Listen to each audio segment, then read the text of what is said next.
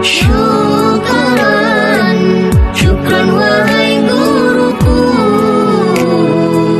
Engkau telah membimbing aku Di jalan yang